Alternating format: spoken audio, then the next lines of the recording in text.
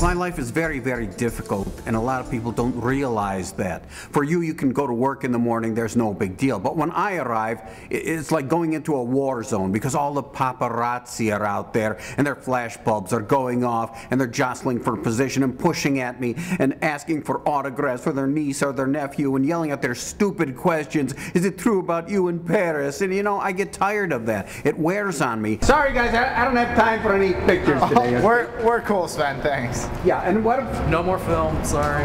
and after a while, it's hard to be civil to them. And no matter how many times I try to sneak in, they're always there. And it just annoys me. It's, it's too much stress for me, really.